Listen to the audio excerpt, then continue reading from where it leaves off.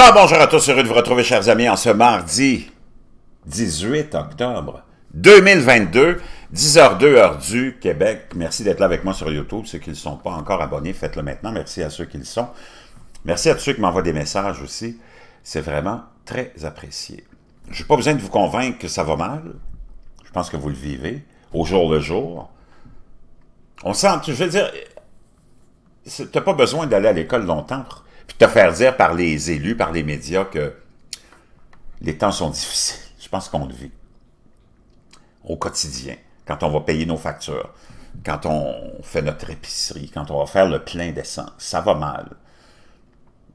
Et ça va aller de plus en plus mal économiquement parce que nos élus ont pris des décisions complètement irréfléchies, mais on va laisser ça de côté pour s'en aller voir aussi ce qui se passe au niveau des, euh, changement climatique, au niveau des événements climatiques, ça fait longtemps qu'on n'est pas allé faire un plongeon là-dedans, et aller voir aussi ce qui nous attend pour l'hiver euh, qui est à nos portes. D'ailleurs, aux États-Unis, dès cette semaine, ils vont avoir de la neige dans certains États parce qu'il va y avoir une vague de froid incroyable. L'hiver qui vient de se terminer dans l'hémisphère sud a été froid, des froids records, des, chute de neige, puis on est au printemps, puis on n'est pas capable de sortir de, cet hiver qui a été difficile dans l'hémisphère sud. Donc, c'est pas de c'est pas de bon augure pour, euh, pour les plantations, c'est pas de bon augure pour l'agriculture. Puis c'est pas de bon augure pour qui que ce soit, puis ça nous annonce que nous, probablement, on va avoir un hiver. Puis d'ailleurs, c'est les prédictions de l'Almanach des fermiers. J'avais reçu un lien d'un des abonnés que je remercie, Merci de m'avoir envoyé tous ces liens. Merci à ceux qui m'envoient des liens, des messages, j'ai vraiment apprécié. Qui nous disait, je ne retrouve pas le lien, mais qui, en résumé, nous disait que l'hiver va être très, très froid et rigoureux. Donc, on va aller voir ce qui se passe en ce moment dans le monde au niveau des événements. Euh, d'ailleurs, il y aurait eu un tremblement de terre. Ça, c'est Aline qui m'a envoyé le lien. Je vous laisserai le lien de la vidéo de ça, euh, qui n'a pas été rapporté nulle part. J'ai fait des recherches, et ça semble être euh, bien réel. Euh, dans plusieurs régions de la Russie, il y a trois jours. Assez puissant, puis on a évacué plein de gens, donc je vous laisserai le lien. Il y a des images euh, de l'intérieur de plusieurs maisons qui tremblent, donc vous irez voir ça vous-même. En Australie, on a des inondations phénoménales. On appelle ça l'apocalypse des inondations en Australie, alors que des inondations de 12 mètres, 39 pieds, inondent des milliers de propriétés à Victoria, et là, on est vraiment, on vient de sortir de, on vient de sortir de l'hiver, mais c'est vraiment pas rose. Les inondations au Nigeria dessus 600 personnes et en déplace 1.4, 17 octobre. Donc, on parlait de ça hier. Des inondations, encore là, vous voyez les termes, hein, on utilisé bibliques. On a le Mississippi, le fleuve du Mississippi aux États-Unis, c'est extrêmement important pour eux. Et euh, les autorités disent que si le, on est obligé de fermer la navigation parce que le niveau de l'eau est trop bas, c'est un peu l'équivalent de fermer les États-Unis. Et déjà avec les problèmes qui font rage de chaînes d'approvisionnement, ça va très mal et c'est très mauvais augure pour les Américains.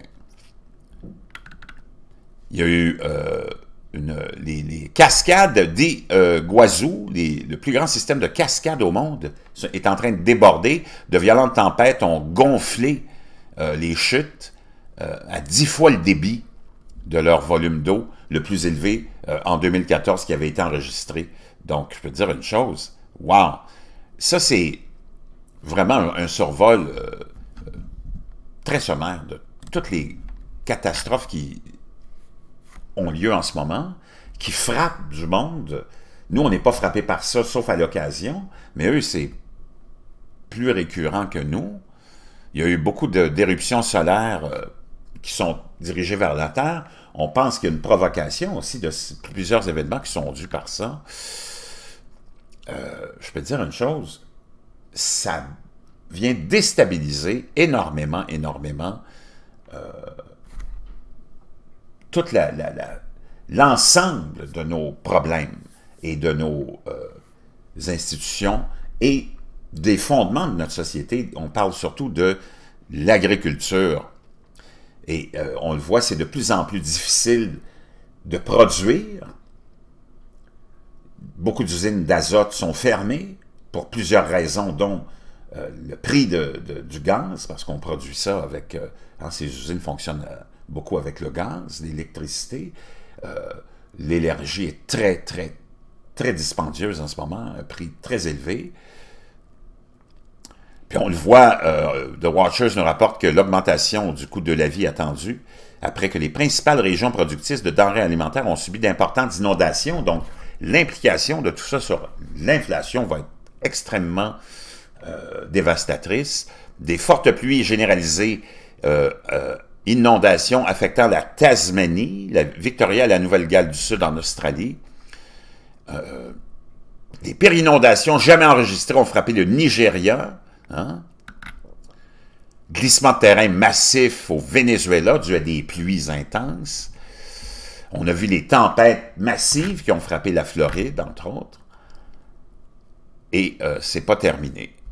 Pendant ce temps-là, il y a eu des gains records de glace au Groenland. Donc, on s'en va vers quoi? On ne sait pas. Les changements climatiques sont indéniables. Beaucoup sont cycliques. Vers quoi on s'en va? Les années 70, on nous parlait de refroidissement. Après ça, on a vu que ça n'arrivait pas. On a parlé de réchauffement. Il n'est pas arrivé non plus, le réchauffement euh, apocalyptique. Mais là, on semble être pas mal euh, euh, en accord au niveau des spécialistes de la température. On semble s'enligner vers ce qu'on appelle un grand minimum. Et ça, c'est une période de plusieurs décennies où euh, le soleil est faible et où les températures se refroidissent. Et on voit l'augmentation des éruptions volcaniques euh, aussi, qui viennent jouer un rôle là-dedans, nous disent ces spécialistes-là. Moi, je ne suis pas un spécialiste, je vous rapporte toujours euh, ce que ces gens-là racontent, parce qu'on n'en parle jamais dans les médias traditionnels, mais c'est important, parce que c'est la science. Mais ça vient contredire le narratif, contredire le narratif politique, naturellement, donc c'est pour ça qu'on essaie d'éviter d'en parler, mais la quantité de volcans depuis 3-5 ans qui sont en éruption constante envoie des tonnes et des tonnes, et je ne sais même plus comment on peut les calculer, de, débris de cendres dans la haute atmosphère qui viennent rajouter une couverture euh, hein, qui bloque les rayons du Soleil. On a une augmentation des rayons cosmiques galactiques de 19 à 20% aussi, qui amène des couvertures nuageuses additionnelles déjà à celles qu'on a, qui viennent aussi influencer euh, les rayons du soleil, les bloquer. Euh, on a un soleil qui est en faible activité, explosion de rayons gamma sans précédent, qui fait circuler les courants aussi de façon très instable. Et on se retrouve avec euh, tout ça. Et des experts dans le domaine de la physique solaire et de la science du climat qui nous disent qu'on s'en va probablement vers un grand minimum solaire. Un temps inhabituellement froid soufflera sur l'est des États-Unis cette semaine et les prévisions hivernales appellent à un hiver très, très, très froid. Le Paraguay, record de dépression enregistrée à Bismarck et à Parkingsburg, hein, on est dans l'hémisphère sud, et euh, on a eu un gel record euh, qui a décimé les cultures de myrtilles en Nouvelle-Zélande, et on est au printemps, je vous l'avais dit. Euh, une épidémie de froid, une vague de froid arctique frappera l'Amérique du Nord. Et ça, ça va vraiment frapper cette semaine et la semaine prochaine. L'hiver devrait arriver très, très, très tôt. Une épidémie, encore là, une vague de froid de fin de saison dans l'Antarctique frappe l'Amérique du Sud. Les Bermudes ont froid. la Chine et le Japon et la Corée passent de la chaleur au froid et à la neige. Ça, c'était le 11 octobre. Donc, je peux vous dire une chose. Euh, chute de record euh, de température historique en Nouvelle-Zélande. Lors, en plus, on a des avertissements pénurie d'électricité. L'Europe centrale va sentir un froid aussi. Euh, on a une épidémie de grippe aviaire qui est sans précédent. on va avoir des problèmes à s'alimenter de plus en plus.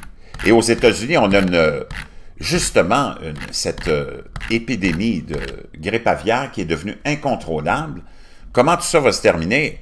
Pas par des bonnes nouvelles, toujours une vie plus difficile, on s'en va dans un ensemble de changements de cycle, je vous en ai souvent parlé, qui étaient rapportés par des grands cerveaux, hein, comme Greg Braden, entre autres, que j'aime beaucoup, que vous connaissez, et qui nous a prévenus depuis des années. On s'en va vers beaucoup de bouleversements, parce qu'il y a beaucoup de changements. souvent, ces grands changements sont cycliques, et ça, on semblerait qu'il y en a beaucoup qui sont alignés pour se changer en même temps, politique, économique, financier, climatique, environnemental, cosmique. Nos belles années sont vraiment derrière nous. Je voulais juste faire un petit survol parce que ça fait longtemps que je ne l'avais pas fait. Puis on se rend compte que, waouh, c'est très profond. Il n'y a personne qui est préparé, les médias n'en parlent jamais. On est toujours dans, dans le divertissement, dans la légèreté, mais je peux dire une chose, waouh, dans le vrai monde, ça s'en va dans une direction qui va être de plus en plus difficile à vivre. Je vous reviens.